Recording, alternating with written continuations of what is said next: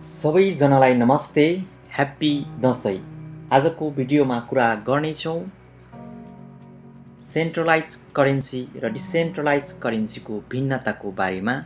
यदि हजुरहरू crypto करेन्सीमा invest गर्दै हुनुहुन्छ क्रिप्टो करेन्सीको बारेमा जान्न बुझ्न चाहनुहुन्छ भने यो डिसेन्ट्रलाइज करेन्सी र क्रिप सेन्ट्रलाइज करेन्सीको भिन्नता बुझ्न एकदमै जरुरी रहेको छ र आजको भिडियोमा यसको बारेमा कुरा गर्नेछौँ इट सामान्य भाषामा भन्दा कुनै पनि देशको करेन्सीमा सरकारको निश्चित अथोरिटी एन्ड कन्ट्रोल हुन्छ भने त्यस्तो करेन्सीलाई सेन्ट्रलाइज करेन्सी भनिन्छ। विश्वको सम्पूर्ण देशमा आ आफ्नो सेन्ट्रलाइज करेन्सी रहेका छन्। नेपालको हकमा रुपैयाँ एक सेन्ट्रलाइज करेन्सी हो जुन नेपाल राष्ट्र ब्याङ्कको मान्धात्मक कन्ट्रोलमा अथोरिटीमा रहेको हुन्छ। डिसेन्ट्रलाइज करेन्सी यसलाई सामान्य भाषामा भन्दा यस्तो करेन्सी जुन कुनैको कसैको अथोरिटी एन्ड कन्ट्रोलमा हुँदैन। कन्ट्रोल एन्ड पावर सबैजनालाई वितरण गरिएको हुन्छ त्यस्तो करेन्सीलाई डिसेन्ट्रलाइज करेन्सी भनिन्छ। उदाहरणको लागि क्रिप्टो करेन्सी एक डिसेन्ट्रलाइज करेन्सी हो। विश्वको सबैभन्दा पहिलो डिसेन्ट्रलाइज करेन्सी बिटकोइन हो जुन दुई हजार नौमा स्थापना भएको थियो। डिसेन्ट्रलाइज क्रिप्टो करेन्सीलाई डिसेन्ट्रलाइज करेन्सीलाई इन्टरनेटबाट क्रिप्टो युज गर्न सकिने विश्वको जुनसुकै ठाउँबाट ठाउँमा पनि प्रयोग गर्न सकिन्छ। र आजको main topic difference between crypto centralise currency and decentralise currency रहेको हुनाले त्यता जाउँ सेन्ट्रलाइज करेन्सी एक देशबाट अर्को देशमा जाँदा सटै गर्नुपर्छ र यसलाई एक्सचेन्ज गर्नुपर्छ।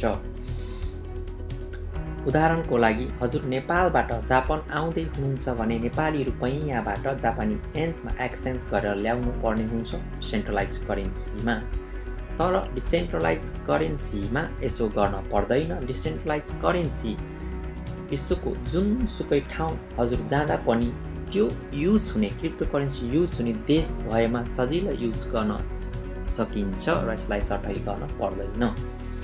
सेन्ट्रलाइज करेन्सी सेन्ट्रलाइज करेन्सी जति वर्ष भए पनि रेट सेम हुन्छ स्थिरता हुन्छ।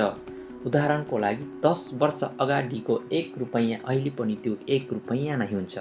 तर डिसेन्ट्रलाइज करेन्सीमा रेटको भोलिटाइल हुन्छ परिवर्तन हुन्छ खटपट हुन्छ। उदाहरणको लागि दस वर्ष अगाडि कुनै करेन्सीको रेट एक रुपैयाँ थियो भनेपछि अहिले त्यो करेन्सीको रेट हजार रुपैयाँ पनि हुनसक्छ बढ्न पनि सक्छ र घटेर जेरो पोइन्ट पाँच रुपैयाँ हुन पनि सक्छ डिसेन्ट्रलाइज करेन्सीमा सेन्ट्रलाइज करेन्सीमा निश्चित संस्था या व्यक्तिको कन्ट्रोल एन्ड अथोरिटी हुन्छ बट डिसेन्ट्रलाइज करेन्सीमा कसैको कन्ट्रोल एन्ड अथोरिटी हुँदैन। सेन्ट्रलाइज करेन्सीलाई देख्न र छुन मिल्छ। उदाहरणको लागि रुपैयाँ नेपाली रुपैयाँ नोट छुन र देख्न मिल्छ बट डिसेन्ट्रलाइज करेन्सीलाई छुन र देख्न मिल्दैन। यो एक अनलाइन इन्टरनेटबाट प्रयोग गर्न सकिन्छ। आजको भिडियो हजुरलाई कस्तो लाग्यो? सेयर एन्ड सब्सक्राइब गरिदिनु होला। नेक्स्ट भिडियो रहनेछ। क्रिप्टोको मेन मुटु block chain Thank you very much.